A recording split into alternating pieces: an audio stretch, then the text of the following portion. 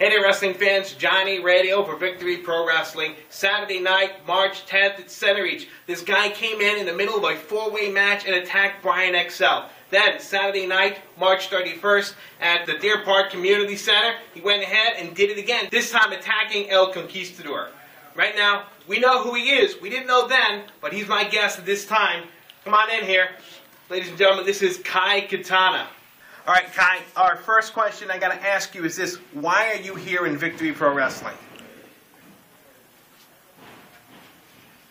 Okay, you attacked Brian XL. Is there any reason why you attacked him? All right, when you attacked El Conquistador, you had a mask on. Is there any significance to the mask? All right, you're going to face second to none, Alex Anthony, at the May 11th show at Islip High School. What are your thoughts? All right, I think that's the best we're going to get from him. Catch him Friday night, May 11th, Islip High School. And that's just, yeah, I'm, yeah, I got to go.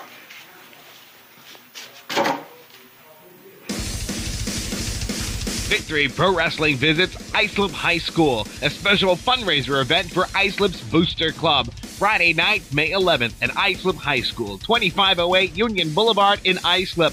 Doors open at 7 o'clock with a bell time at 7.30. General admission $15. Kids 10 and under get in for 12 Call for tickets and more information 631 357 1810, 631 357 1810, or visit our website at victoryprowrestling.com.